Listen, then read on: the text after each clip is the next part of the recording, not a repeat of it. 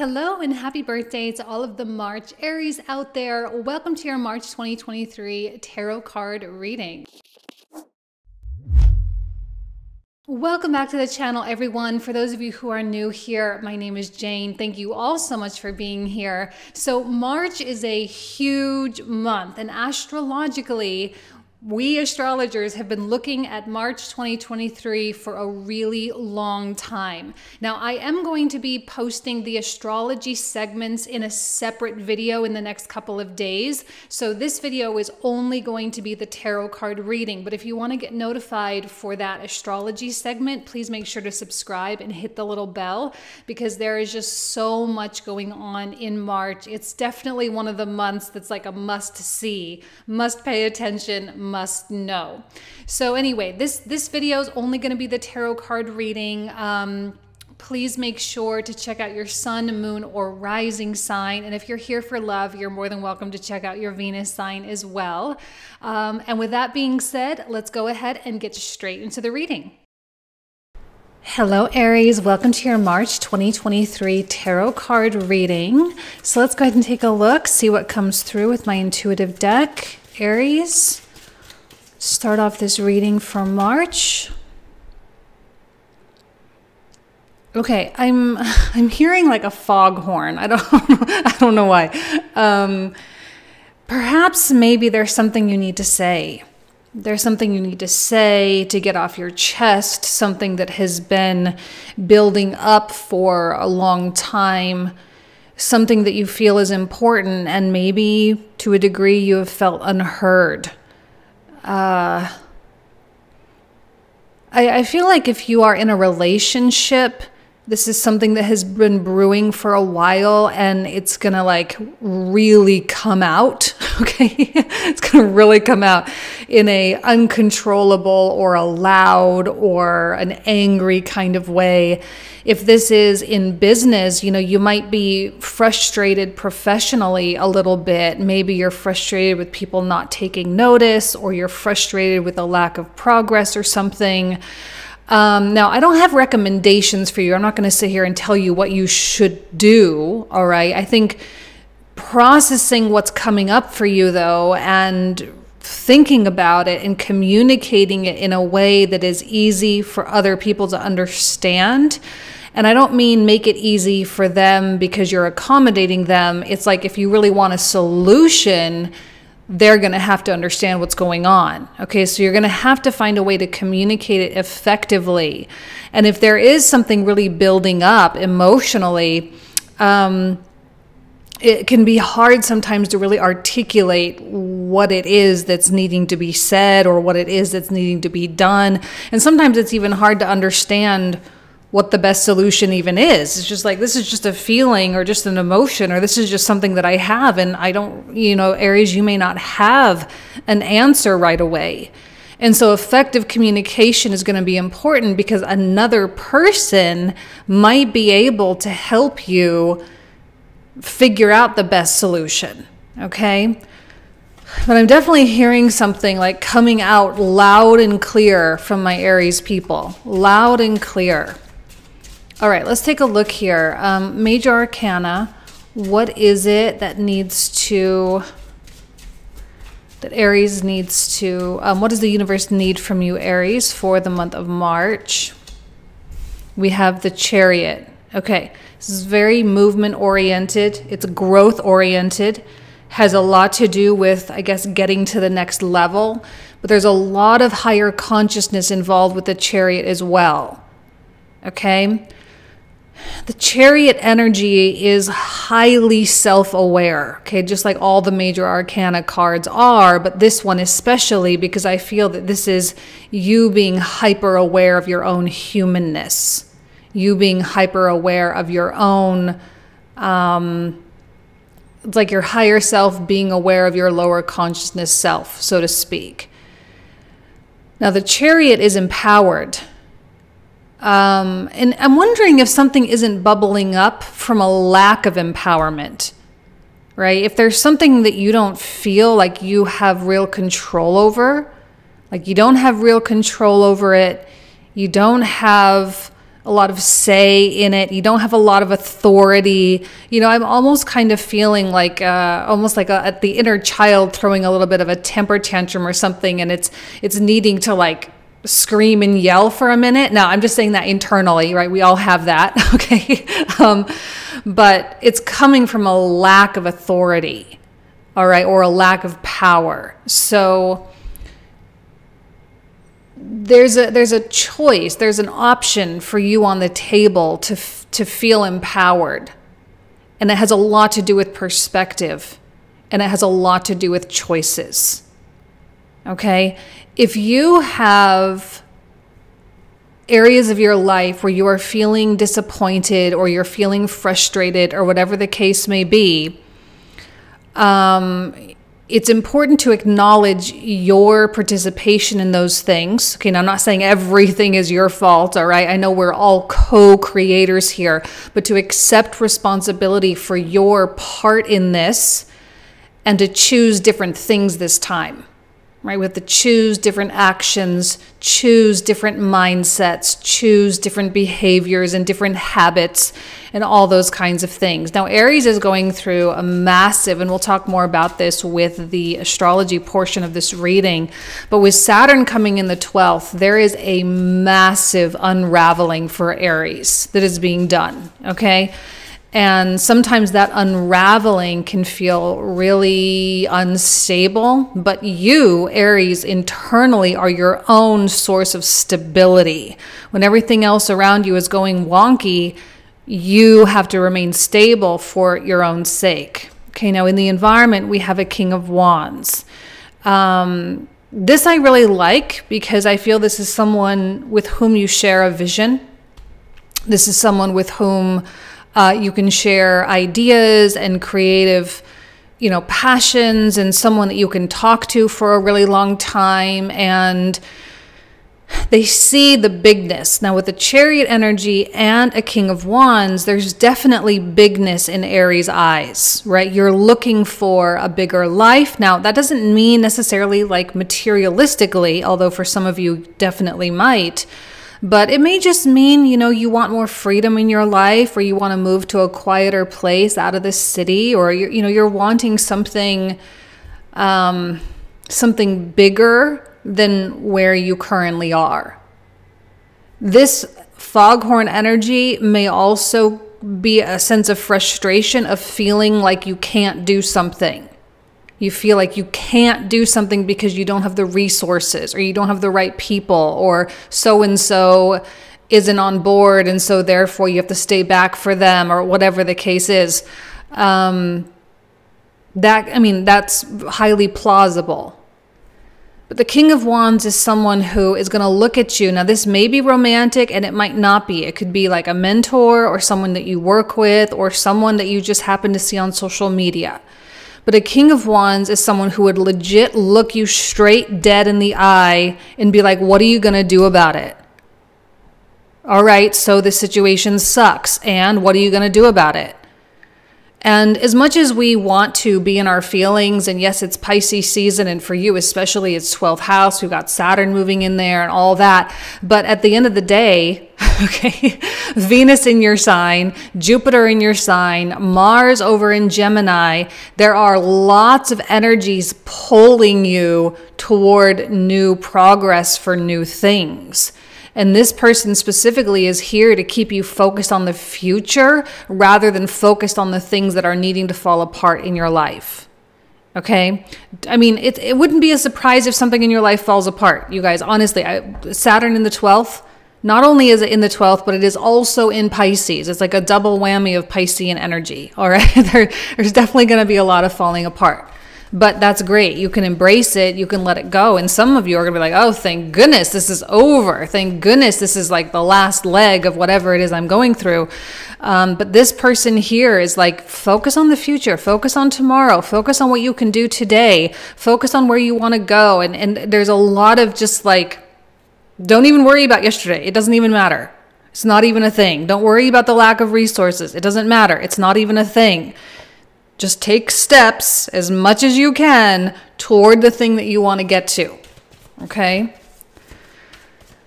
I think the King of Wands is someone that Aries wants to, like, you kind of want to be in their circle. You know, you like them, you enjoy their company, you enjoy their energy, you enjoy their vision, their work ethic. There's a lot that you respect about them. So when they tell you something, Aries, like, I know you listen. Ace of Coins, beautiful. Ten of Wands.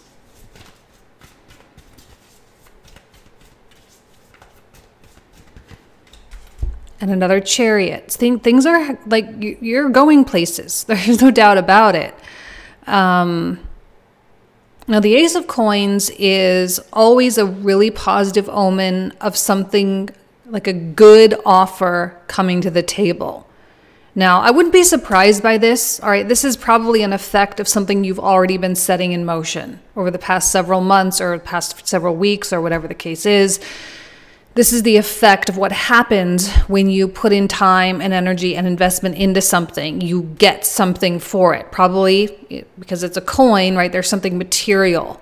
Now, a coin, I often feel, is a sim symbol, right? Earth or tangible things, material things, are often symbolic of our emotional, mental, and spiritual alignment.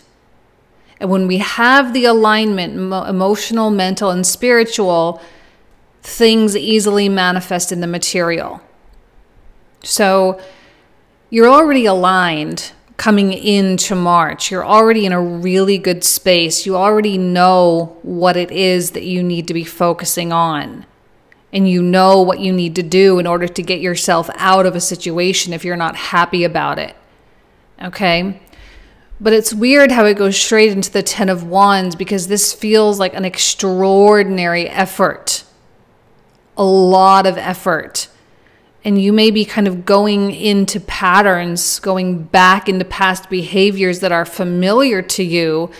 This can produce results. I'm not saying this is bad or wrong. It's not bad or wrong. In fact, sometimes a lot of passion does come through here, but it's definitely backbreaking work. And often the Ten of Wands doesn't really give you that much. But with the Chariot, see, this doesn't feel empowered to me. This is not coming from an empowered place. This is like Aries taking an ace of coins and then being like, okay, I got to hang on to it and then I got to bust my butt in order to make anything else happen in order, like, instead of leveraging this ace of coins and leveraging this alignment, I almost feel like you snap back out of alignment, boom, and you're right back in the old thing.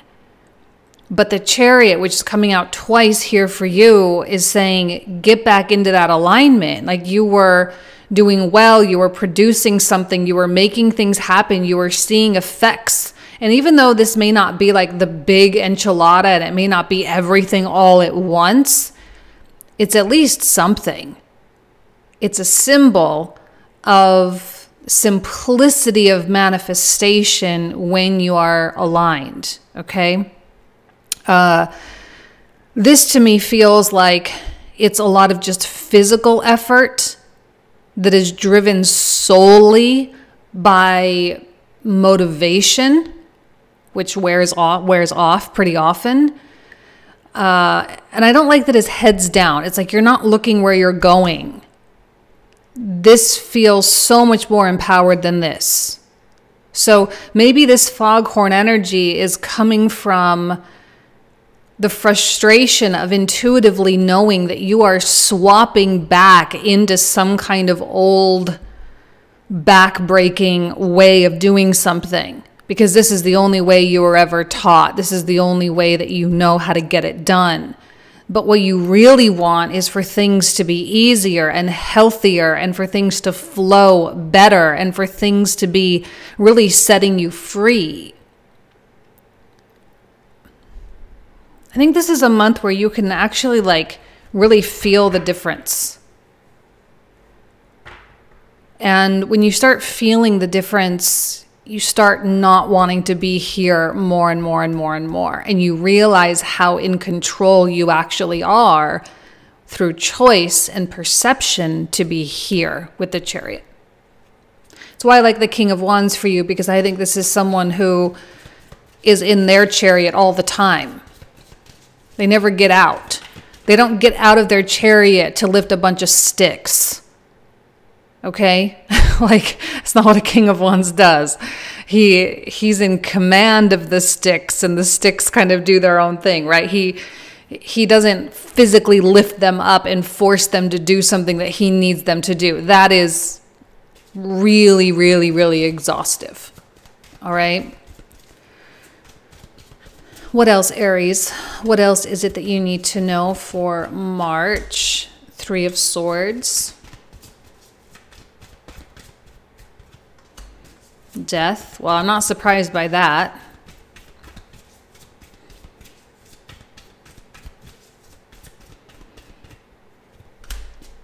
Eight of Swords. Okay. At some point in March, probably around the second week of March or so, second, third week,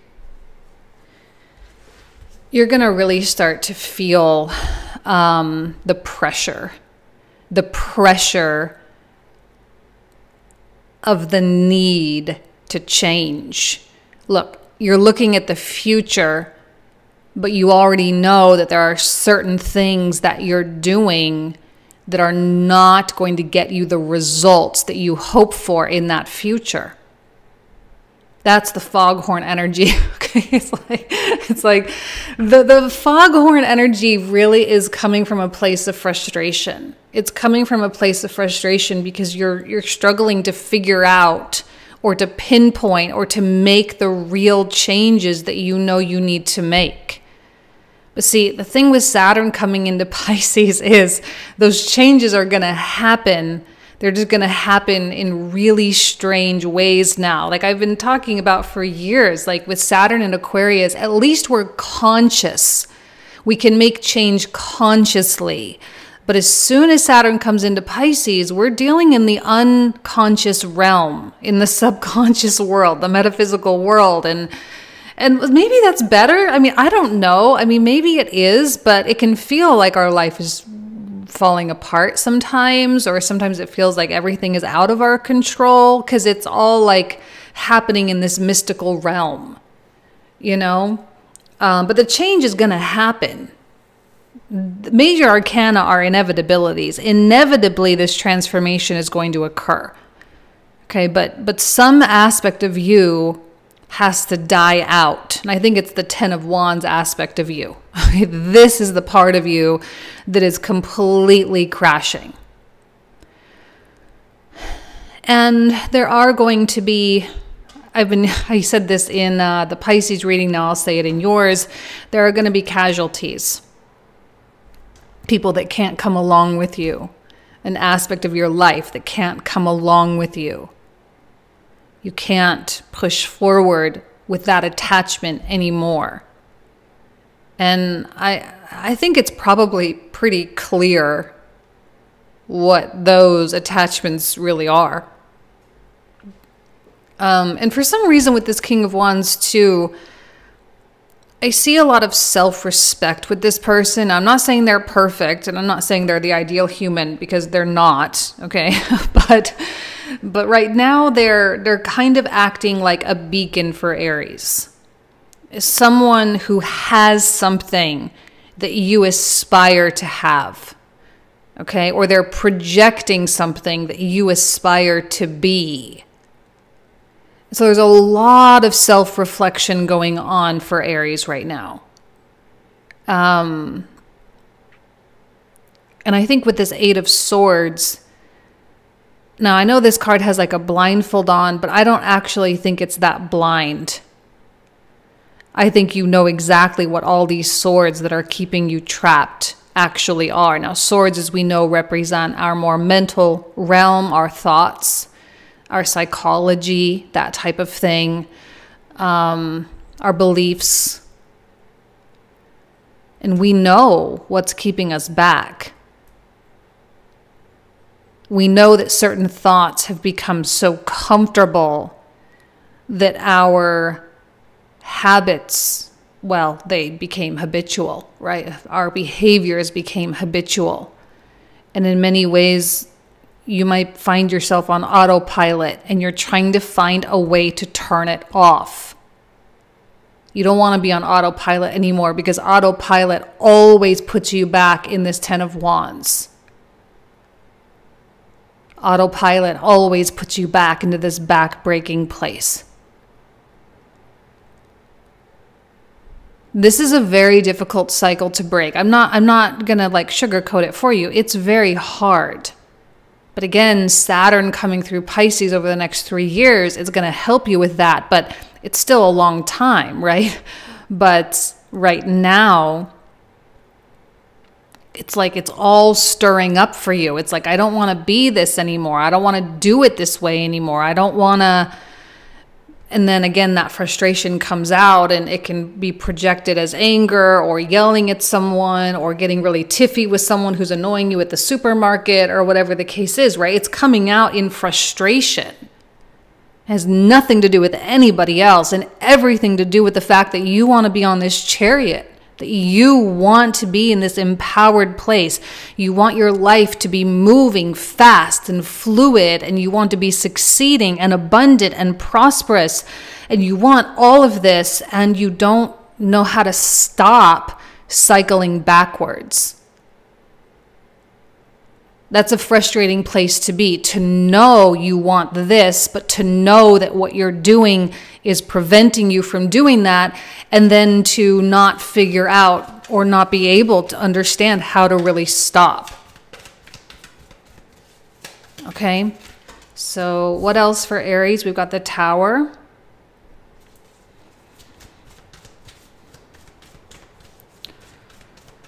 We've got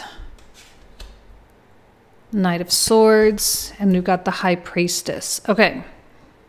Well, the Tower and well, this is not technically a foghorn card. I'm just gonna that's what I'm gonna call it, the foghorn. Um, it's just so loud. I don't know when that card came out. It was like, oh, I'm I've kind of developed. For anyone who knows me, you guys know I usually relate more to like the clairsentience, right? But I do have a fair bit of clairaudience as well, meaning I can hear things. And this card came out really loud to me. Um, like I even, I know you can't see me, but I kind of like even tweaked my neck a little bit because I was like, oh man. You know, it's just like, it's so like a fire alarm going off. You want to plug your ears. That's how loud it is. So something is really trying to tell you something, Aries. Okay, specifically that inner child. I think that inner child is really trying to tell you something. And it's going to come out in some kind of inevitably randomized way, as we often see with the tower. We've got the tower, we have death, we have the three of swords. Like there is something that is being torn apart. And and some of you now, I'm not saying it's like you're full on quitting your job or you're full on leaving a relationship. Like, if something's good in your life, then obviously that's not what this is. Um, this is more something that is preventing growth in in any area preventing financial growth preventing romantic growth preventing personal growth whatever whatever it is you're struggling with okay and the tower is like a straw that broke the camel's back. Like there is one, like something that might happen that's just going to push you over the freaking edge this month. This may have to do with Pluto coming into Aquarius. It may have to do with Mars coming into Cancer. Okay. Um, something is going to absolutely just like crack. And you're going to realize how I don't know, it feels it feels like really strong. It's like a building built out of stone and it will sit there forever. But if a strong enough person comes and pushes it, it will fall right over. Right? Like it'll, it'll if there's no wind and there's no external force, it will literally sit there forever. But if the force comes in the wrong direction, like from the side, as opposed to like gravity, right, comes from the side, boom, it's just going to topple over. And I'm looking at this Knight of Swords is just coming and pushing you. This person you're gonna you're gonna hate to love them. They are the best worst thing that ever happened to you. All right. This is someone who knows how to trigger you, knows how to push your buttons, knows how to say truthful things. This could be a bit of information that you receive about someone. Like you hear it through the grapevine about someone in your past who's doing this, and it's just like, ugh, like really punch to the gut, you know? Just topples that tower right over. But I think it is what you need we all need that sometimes. Uh, like it sucks. I'm, I'm not here saying it's all like great. I'm not trying to sugarcoat it for you. I mean, it super sucks. Like, for example, if you were madly in love with someone and they just kept telling you, I don't want to get married, I don't want to get married, and then you break up, and then six months later they're already walking down the aisle with someone, like, yeah, that sucks. It's very Carrie Bradshaw and big, right? it's like, what, you know, but it forces a growth to get you on this chariot. That's what it's for. All right? But again, you're going to you're going to love to to hate them for sure. It's just like is not something pleasurable. This person is very neutral in this story though. Okay? You don't shoot the messenger here. This honestly has nothing to do with what the story, all right, this is just a messenger here coming to topple over your tower, which you thought was keeping you safe, but in actually was keeping you, you know, I don't even want to say hidden. It was like keeping you st stuck. And, but this is all happening because your unconscious, your unconscious realm is revealing something. And usually, with Venus in your sign, especially, that's going to involve other people, revealing things about yourself through other people, through the stories, through the, the, the lives, through news of other people. But it honestly has nothing to do with them and everything to do with you. Okay. And I say that slightly. Okay, I'm not saying again. It's not about faulting yourself for everything, um, but it is about taking accountability for the things that you know aren't serving you anymore. And the high priestess is very much doing her job quietly, succinctly, behind the scenes, showing you what it is you need to see. There's been something that you have been storing. It has been pent up for so long, probably since 2008. Okay. It's been pent up for so long. And um, it's time to come out. So, Aries, let's pull out the clarifiers. So, for those of you who are new, the cards I'm about to pull out are the cards we will cover in the comprehensive reading. We usually talk for another 25 to 30 minutes about all these cards. So the link for that will be found in the description box down below. Um, okay, so with the Knight of Coins clarifying the Chariot card, we also have the Four of Wands and Queen of Coins. I'm not doing reversals today. Um, okay, and what else for the environment? What else does Aries need to know is going on in their environment? Aries for March. We have a Queen of Cups. We have the Devil. And another Three of Swords. Okay. So, Ace of Coins. What does Aries need to know about the Ace of Coins? Is you are sort of toeing the line between the old world and the new world. Okay, beautiful. King of coins. I do like that Ace of coins a lot. It's really wonderful. You deserve it. You you did good, right? You you did really really really well. You absolutely deserve that Ace of coins. Beautiful Page of Wands. And then we move smack dab into the 10 of Wands. Okay.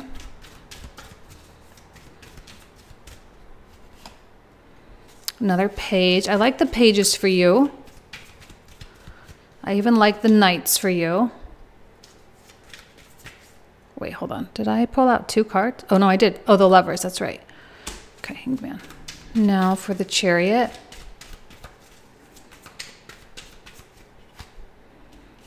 King of Cups.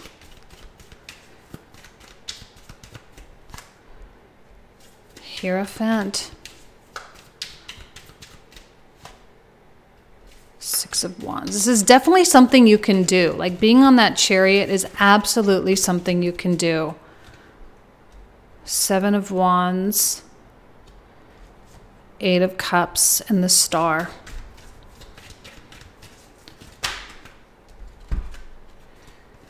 Seven of Coins, Two of Wands.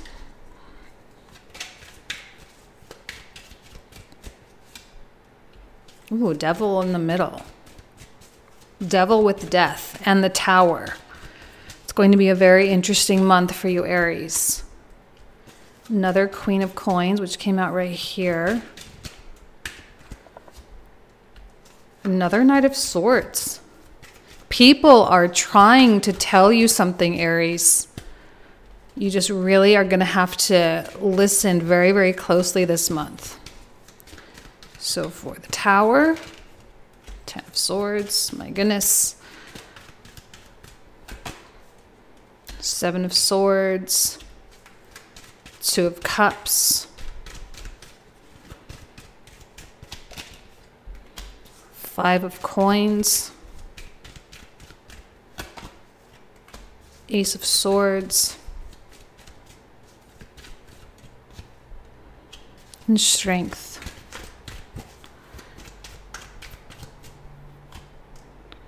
Five of Wands, another Knight of Coins, Three of Cups. And this is where we will pick up in the comprehensive. Thank you all so much. You guys know I love and adore you. Have an amazing March, you guys. Good luck with everything. And I'll talk to you soon. Take care. Bye bye.